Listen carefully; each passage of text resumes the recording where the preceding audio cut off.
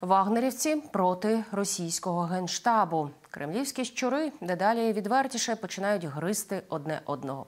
Чому путінський кухар Пригожин не дуже й приховує, в якому напрямку варто йти заступнику Шойгу Герасимову? Скільки російських бомбардувальників могли бути пошкоджені внаслідок атаки на військовий аеродром Енгельс? Коли саме ЗСУ візьмуть на озброєння наданий США комплекс Петріот? Дивіться хроніку подій 307-го дня Великої війни з Росією у матеріалі Олексія Пасака.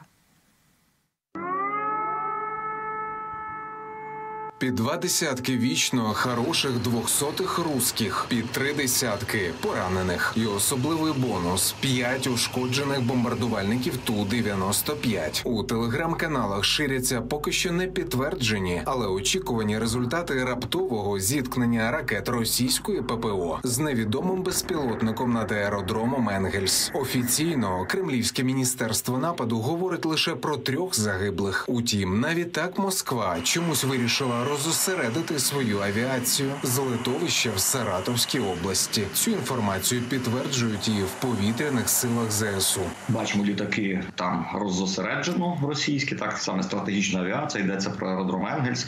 Безумовно, там ще залишається певна кількість літаків, але чимало з них вже передислоковано на різні аеродроми, які можуть їх приймати, утримувати, обслуговувати наразі. Ну от власне така ситуація. Так після власне цих подій, взагалі активність під вечір так ворожої авіації суттєво було зменшено. Не було видно взагалі навіть тактичної авіації літаків. Можливо, так окупанти не могли трішки дещо отямитись від того від тієї бавовни, яка там відбувалася. Утім, навіть передислокації, можливе ураження бойової авіації не скасовують загрози нового масованого ракетного удару. В повітряних силах порадили дотримуватися усіх рекомендацій влади і бути готовими як до самого обстрілу, так і можливих наслідків. І окремі українські міста відчувають наслідки російської агресії щодня. Москолота вкотре обстріляла з артилерії Херсон. В обласній військовій адміністрації повідомляють про руйнування приватного житла, станції екстреної медичної допомоги і дитячого садка. Дивом минулося без постраждалих.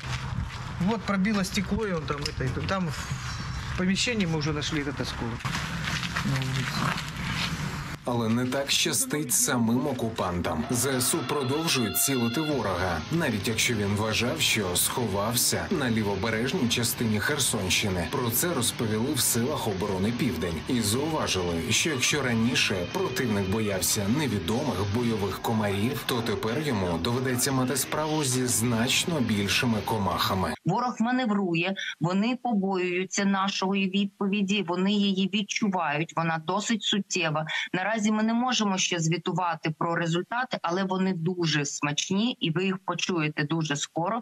Цієї ночі було відпрацювання, і це вже не комарі, це вже суттєві бджоли. Ворог тисне вогнем і намагається виграти час для відновлення, але й надалі отримує болючі удари. І з кожним тижнем ЗСУ і Україна стають сильніші. Спеціально для Києва Вашингтон удвічі пришвидшив програму навчання для тих оборонців неба, які працюватимуть із комплексами ППО Петріот. Про підсумки візиту української делегації до США розповів міністр закордонних справ Дмитро Кулеба. Наголосив, що Петріоти стануть на бойове чергування менш ніж за 6 місяців. Говорили про план підготовки найближчим часом міжнародного саміту, де обговорять формулу миру, запропоновану Зеленським. Чільник МЗС зауважив, Україна розраховує, що саме прийдешній рік стане переможним. We will do everything in our powers to make the next year Ми зробимо все від нас залежне, щоби наступний рік став роком перемоги України, і ця перемога передбачає повне відновлення територіальної цілісності України. Ми не торгуватимемо жодним квадратом, сантиметром чи дюймом нашої землі. Це не підлягає обговоренню.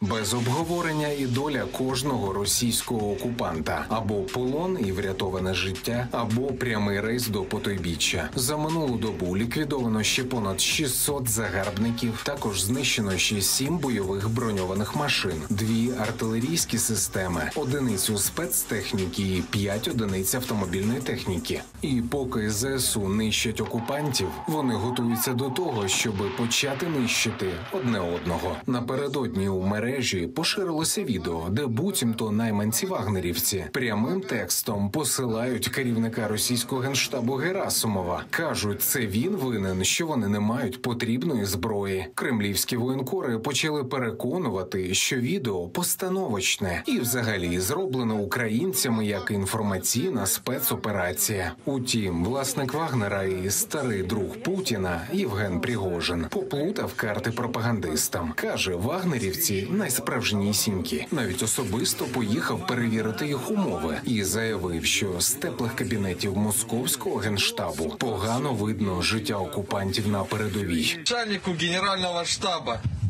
Ты пи***, и черт ебаный. Нам нечем воевать, у нас нет снарядов. Там парни гибнут за нас. А мы тут сидим, не помогаем.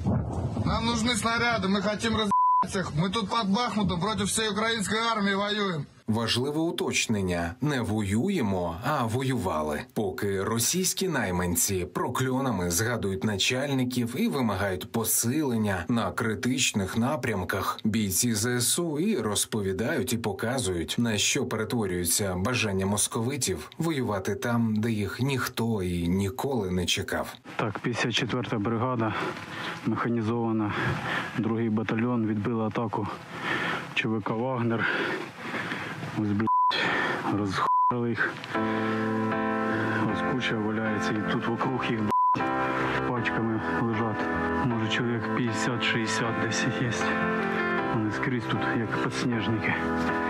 Йобана русня, йобана русня.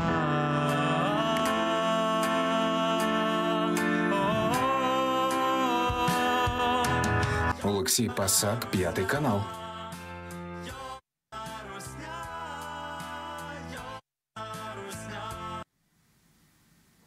Уже надвечір росіяни обстріляли пологове відділення лікарні в Херсоні.